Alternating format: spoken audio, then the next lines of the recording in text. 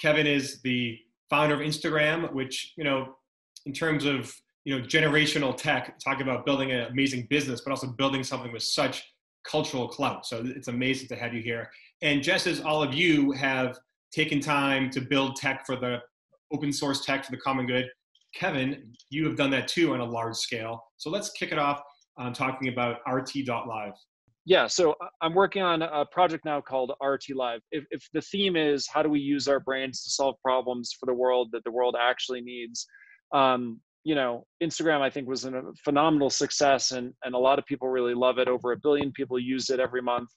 Um, but when I left, I asked myself, okay, what types of projects do I want to work on? And I had no idea COVID would happen, obviously. But when it did happen, I felt like there was a void for uh, for information out there that was that was well analyzed and well presented to people. And i kept asking myself what's the one thing i want to know?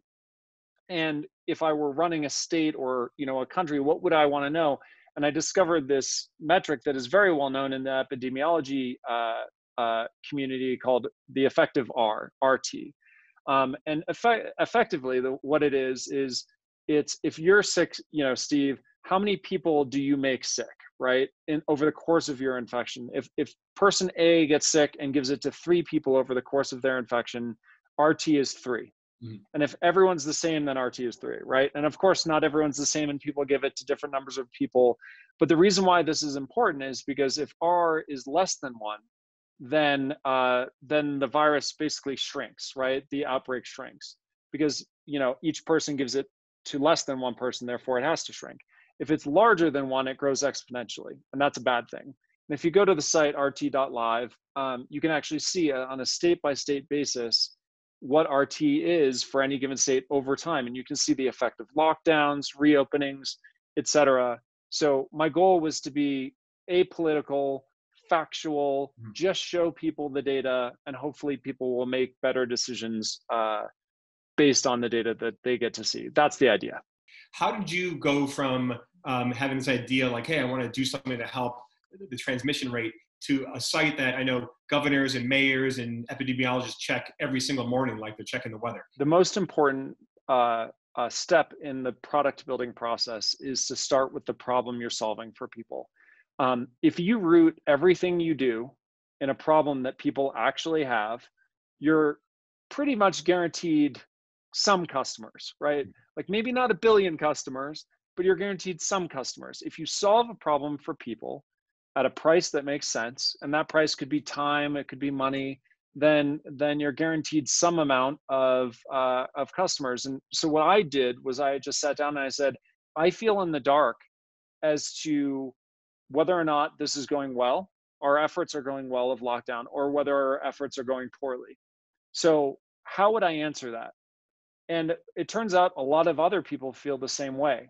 They feel in the dark and they don't know if it's going well. They see these charts that go up and to the right, but they don't really trust them. And testing volume and all these other things like delays and lags and just noise, um, it makes you question the data. So the problem was can we solve all of those things and present people an actual view of what's going on?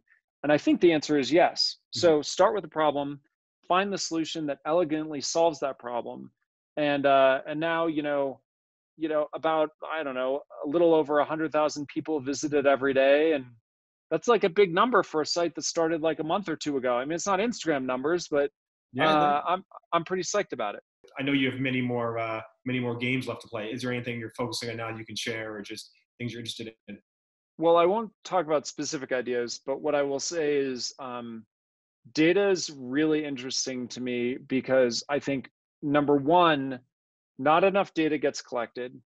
When it does collected, I think it kind of lays dormant. It's like fallow land, right? It just sits there. It doesn't get used productively. Uh, and then when people try to use it productively, I think a lot of mistakes are made and, and misinterpretations are made. And then it's not presented well either. Like if you have conclusions or a synthesis that comes out of data, um, it's often lost in translation. So the idea that you're going to go from data to insight to action, to me, feels like there are a lot of tools that solve collecting data.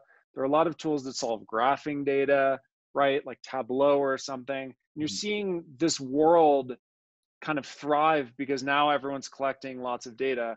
Um, but it feels piecemeal and it feels feels like there's an opportunity to do big work in there to let data drive decisions. And that's an area I'm pretty excited about.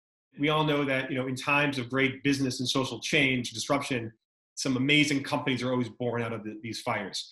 Um, what advice do you have for all our young, our, you're still a very young man yourself, but younger CEOs, younger founders, like what, what advice do you have them about entrepreneurship in general right?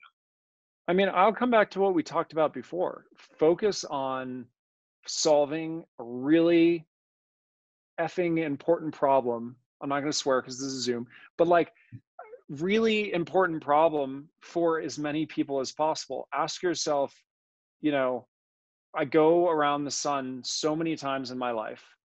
How will I measure my the impact of my life?